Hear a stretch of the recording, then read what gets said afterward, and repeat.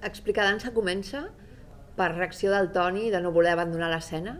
Llavors decideix continuar l'escenari, en aquest cas explicant la història de la dansa. És un encàrrec que va tenir fa, farà aviat 15 anys del Centre Cívic de les Corts i durant aquests anys doncs, anat, anat desenvolupant el projecte. Mai ens podíem imaginar que realment acabaria sent el públic un centre de debat, que és el que és avui en dia, amb la qual ens hem trobat doncs, que tenim una proposta que encaixa amb una necessitat actual. Pensem en el públic, pensem en el públic, li donem eines, nosaltres diem sempre claus de lectura.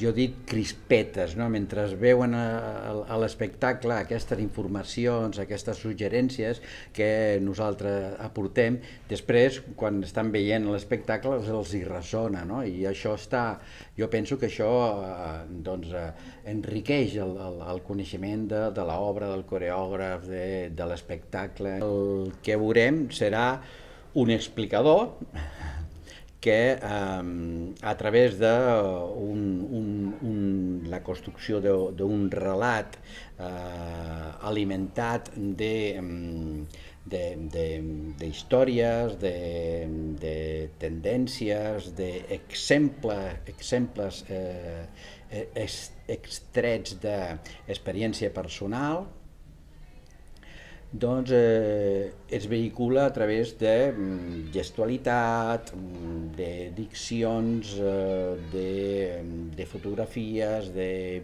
vídeos... Eh... El públic ha madurat.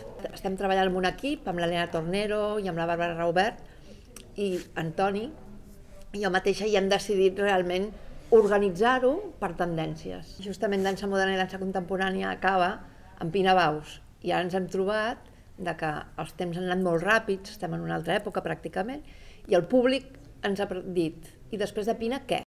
Vertiginosa història de la dansa moderna i de la dansa contemporània. Dansa moderna, reacció davant la dansa clàssica. Dansa clàssica, cinquena posició, genolls als costals, eh, suspensió. Una conferència ballada dona resposta a el que seria les tendències d'ara. El que també volem evitar és el caure en, una, en un format molt escènic, molt, molt teatral, perquè llavors estaríem, estaríem a prop de, de, de ser un espectacle i no, no es pretén això, no es pretén ser, fer un espectacle, sinó eh, ser més, més didàctics, més, eh, més pedagògic.